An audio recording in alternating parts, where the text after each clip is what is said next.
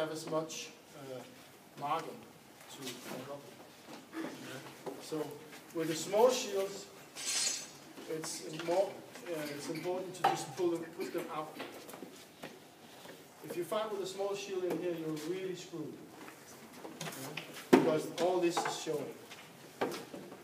It's like uh, the goalkeeper in the handball goal.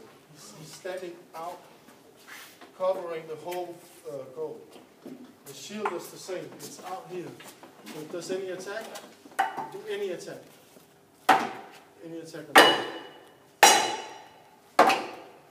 I take them out all out here. Now my arm gets tired, so I relax it here and step out a distance. Then I step in, the shield comes up again. But the, the, the thing is, it's that movement. The shield has to be out here. Fighting with a small shield in here, it's just shit.